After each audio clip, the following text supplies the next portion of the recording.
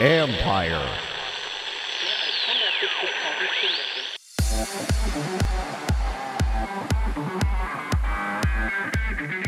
NIL isn't just pay for play. You know, sometimes we'll get involved and help them if needed. And then we have this great scheduling feature that allows them to, you know, list the times that they're available. Um, and then parents are able to come onto the site, create an account, browse these college athletes, and then book and pay for a lesson in just a few clicks. That's Patrick Johnson, CEO and founder of Vantage Sports, where NIL can also mean mentorship and community building. This is the Future Sport Podcast. I'm Bram Weinstein.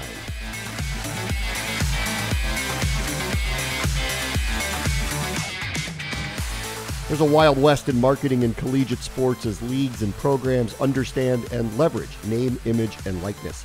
For Patrick Johnson, he saw an opportunity to not only put money in athletes' pockets, but get a return that redefines influencer.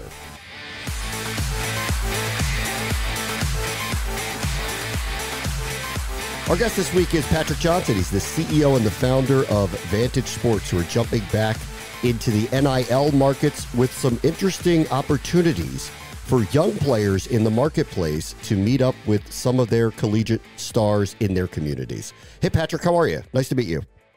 Hey, Bram. I'm doing well. Thanks for having me on. Nice to meet you. Too. Okay. Tell me a little bit about Vantage Sports. Uh, why did you found this company? Yeah, absolutely. So we started Vantage Sports really because we thought there was an unmet need in this new NIL market for both college athletes who wanted to make some money It didn't have the social media prowess or following to necessarily, you know, get connected to brands for sponsorship deals, as well as we saw this opportunity to connect local youth and high school athletes with their favorite college athletes for private coaching and mentorship opportunities. So, you know, we, we got the company off the ground um, about a year ago you know, a couple months into NIL and started to see that there really was opportunity on both sides for, you know, basically connecting college athletes with youth and high school athletes in their community. So you saw this as an opportunity for mentor mentorship and coaching. Is that is that correct? How you're kind of viewing this?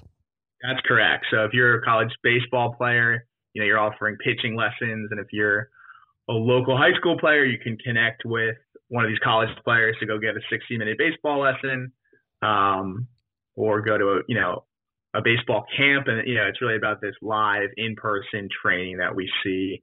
Um, you know, a great opportunity to build on. Okay, so why? How did the idea come to you to kind of twist NIL and use it this way? Yeah, I mean, I was just reading all these articles about NIL, and I sort of had this light bulb moment where I thought all this energy and resources would go towards really the top one to two percent of college athletes, yeah. knowing that you know in college sports there there is a lot of money and interest in basketball and football, and sort of an I think an unmet opportunity with you know all the almost half a million other college athletes out there to connect them to you know the millions of high school athletes and even youth athletes who want to you know eventually play at the college level. So that's that's really where the idea came. I grew up in New Jersey. I was a, a football and lacrosse player. I know I could have used sort of this type of mentorship and coaching along the way, and then um, you know, so I sort of understood the need and opportunity from the the high school and youth sports side. Okay. Um, but tell me a little bit about the coordination of this. I love the idea. Um, it makes a tremendous amount of sense. Seems like though there's a lot of coordination that's going to need to take place because you're matching athletes who do want the mentorship and the coaching with the collegiate athletes at the same time they have to follow through and and do these coaching lessons or mentor these kids like how, how do you kind of view that moving forward yeah so i mean luckily we've we continued to build and improve on our technology. Um, it's a website, vantagesports.com. It handles a lot of the logistics in terms of it. You know, it gives us great platform for these college athletes to create a profile, um, list the description of what type of coaching they're going to be offering, as well as the price and the location. Um, typically, the ones finding and setting the location. You know, sometimes we'll get involved and help them if needed. And then we have this great scheduling feature that allows them to, you know, list the times that they're available. Um, and then parents are able to come onto the site, create an account, browse these college athletes and then book and pay for a lesson in just a few clicks. Post lesson, yes, we follow up. We make sure everything worked from both sides of the marketplace. Um, you know, pay out the college athletes and then really ask the parents to give reviews and rating, which which I think is what really makes this work. College athletes, huh. not only do they show up, do they provide a great experience, um, and you know, parents are able to to sort of help validate them and help them build, and that's what we've seen been really successful. I mean, our average rating is 4.97 out of five. So these parents are definitely finding these experiences valuable, and then that's helping these college athletes continue to build their uh, their book of business, so to speak. Are you working directly with the athletic departments or the coaches um, at these schools as well to try to either help the athletes coordinate this or work directly with the schools if this is maybe a bigger idea that they would be interested in? So we have relationships with a few universities, um, but really we've gone right to the college athletes. Um, you know, one of my teammates was a former college athlete, so he had a network for us to start, and then we've been able to sort of just grow through social media and word of mouth. Uh, we're also partnered um, with influencers, so we're in their global exchange, so we get really great access to these college athletes directly through that partnership, which has allowed us to acquire a good amount of college athletes and really focus on the product and sort of you know finding the demand for their for their sessions. This episode is brought to you by Chalk and Dog, which brings together the vast experience and expertise of two of the brightest agencies in media, sports, wagering, and gaming. With deep roots in the UK and the US, the agency offers expert guidance in everything from market entry to market expansion for startups as well as established global brands powered by best in class communication and creative experts. Chalk and Dog has vast international experience and delivers results oriented, tailor made solutions for B2B and B2C organizations. On the other side of this, and I, I ask that mainly not only because they, they might be interested in it, but it feels like it could be a recruiting tool for them if they were to have their players involved with prospective future athletes in their programs.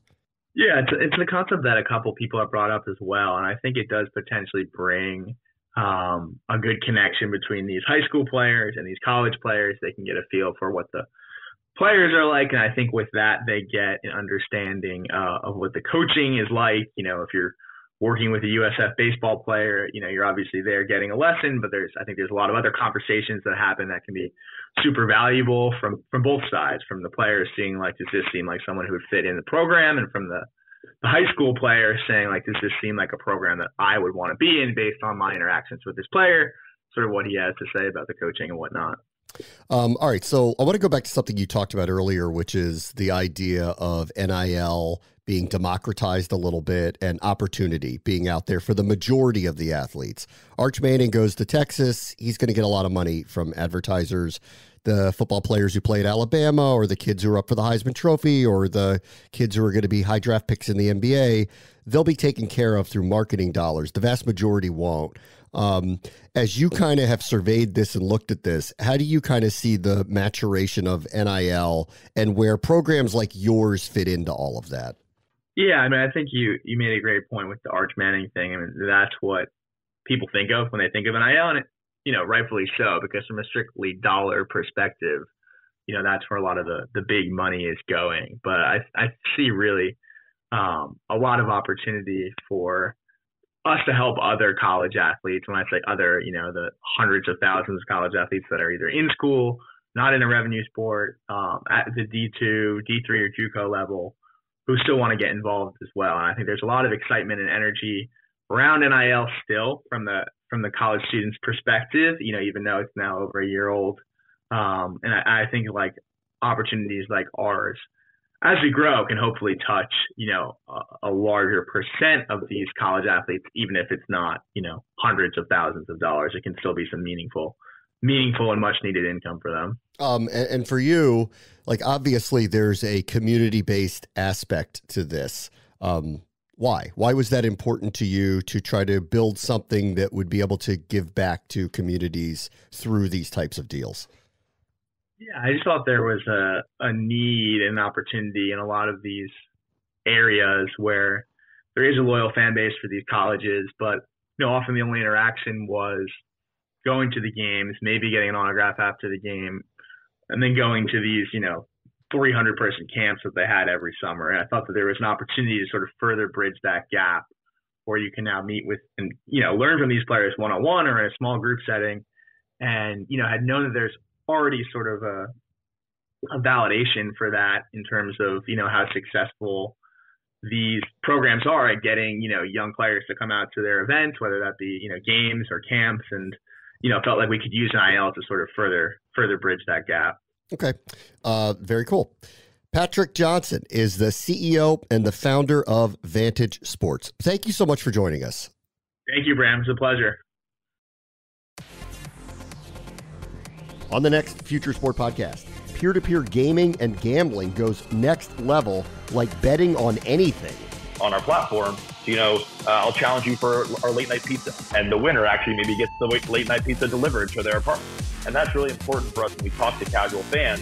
A lot of them have a stigma against dollars. So all of a sudden you bring in um, a pizza and like, yeah, no, I'll put a pizza on the line. I'm going to eat the pizza anyway. That's Dylan Robbins, CEO of Lucra Sports, where friendly competition turns into a business model. That will do it for this episode. As always, the future is now. This is the Future Sport Podcast. I'm Bram Weinstein.